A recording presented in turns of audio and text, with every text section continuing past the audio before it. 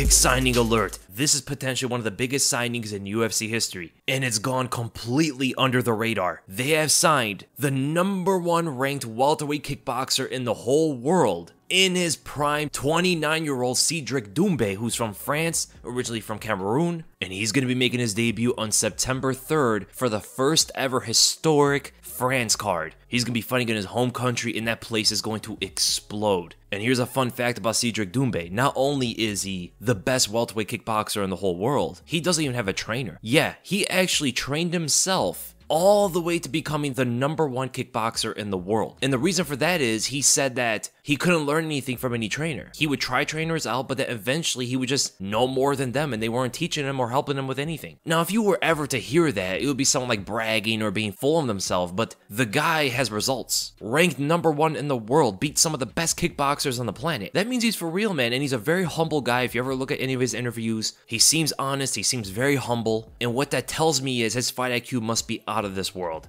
in MMA, hopefully he does get real trainers. He's to need them for sure because he doesn't know the other aspects of fighting. His progression might be lightning quick. He might be able to grasp onto things much quicker than we anticipate. And when he makes his UFC debut, if he puts his wrestling together, he might be looking like the welterweight version of Francis Ngannou with the way he's going to be folding a lot of these guys, man. He has tremendous power in his hands, but when you watch like highlights of him and stuff, you cannot overlook how technical he is. The guy beat Nieky Holzken twice in a row and snapped his 11 win streak. And a fun fact, he fought Brad Riddell six years ago. Yeah, he fought Brad Riddell in kickboxing over there in China and won a split decision, which makes me think, could he potentially potentially even drop down to the lightweight division because honestly, looking at it, when he goes into the UFC, he's going to be one of the top strikers in the organization 100%. People already ask me, is he better than Poatan? No, I don't think so. I think Alex Pereira, pound for pound, is a better striker, potentially just overall better fighter than Cedric Doumbé. But Doumbé is a bit younger and he has a lot more growth. So the promising thing about Doumbé is even if he loses a couple times in the UFC, he has more time to get better. Whereas for Alex Pereira, he probably doesn't have that much time in the sport, being 35 years old. And the way that Doumbé would lose would be most likely through the wrestling. The issue with it is he's in the welterweight division. The welterweight division in the UFC has the strongest wrestlers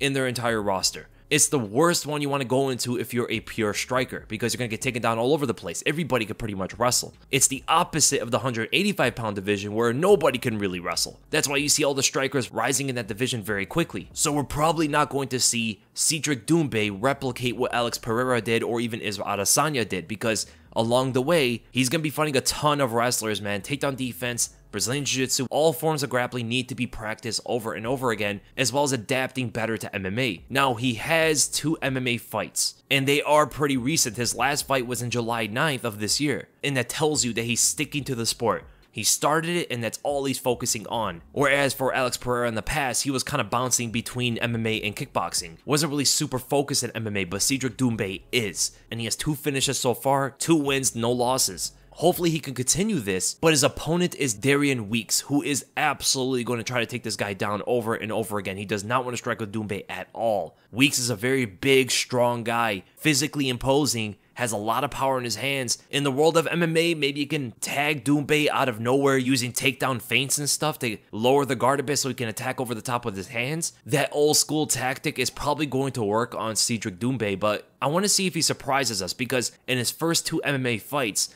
both guys were trying to take this guy to the ground and they could not. And actually, for his first MMA fight, I am pretty impressed on how he defended that takedown. His opponent actually tried something pretty tricky. He went up with a jab up top, then a low shot, and he actually got pretty deep on Doumbé. But Doumbé was eventually able to get the left underhook, drive the hips forward, and pick up his opponent from his hips. That combined with his change of stance, he has very low hands in MMA fight, which is a bit different than how he used to fight in kickboxing. Very methodical, patient, low hands, expecting the takedown, but keeps a good range so he can see strikes and takedowns much easier. But everything else that he kind of throws is relatively the same. He disengages from takedowns with explosive strikes. Whenever he does get in somewhat close range, he unloads on the opponent at different kind of angles and that's how he was able to get a knockout. But if we're going to be honest, those two guys probably don't stack up to even Darian Weeks, when it comes to wrestling. Weeks has taken down even Bryan Barberena four times in their fight, and in every one of his UFC fights so far, he has attacked with a lot of takedowns. And that is ultimately what Cedric Doumbé is going to have to have the utmost respect for. Because when it comes to straight up striking, it'd be shocking if anybody in this division could beat him in exchanges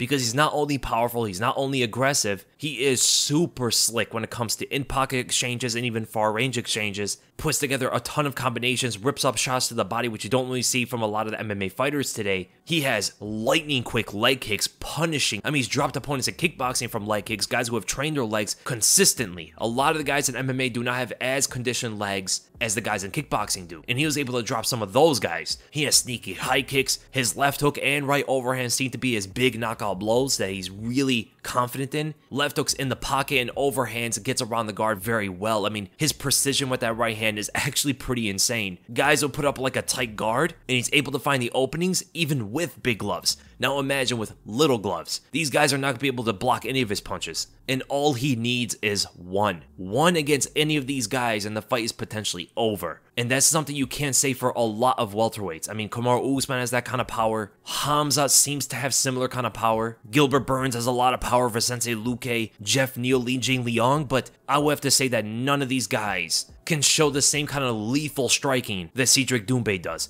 With pure power, some guys can match him, but when it comes with everything else, like precision, with timing, with the speed behind that kind of force, nobody in this division can hit like Cedric Doumbé. And I wonder later in his career if he's gonna be able to drop to the lightweight division because even in kickboxing, he seemed a bit smaller than all of his opponents. He did say on Joe Rogan's podcast that he walks around like 187 pounds, which is smaller than a lot of the welterweights, but it would be on the bigger side for 155. I think Michael Chandler weighs more than him, and I think Dustin Poirier weighs around the same, while him being one inch taller than those two. So it wouldn't be out of the world for him to try 155 in the future in case the bigger, stronger wrestlers are just too much for him at 170. I'm very curious if he ever tries to make that move, which tells you how much even scarier it is that he was able to knock those guys out that were bigger than he was. I mean, look at his fight with Nieky Holzken. Holzken's way bigger than him. Alim Khabeeb towered over him. Murthel Groenhart was much bigger than him and he laid all of these guys out besides Nieky Holzken. So I am super stoked that Cedric Doumbé is going to be in the UFC. I'm even more excited about that France card now, and hopefully he could put on some fun fights for us. If I'm going to be honest about his future, even though I'm a big fan of his,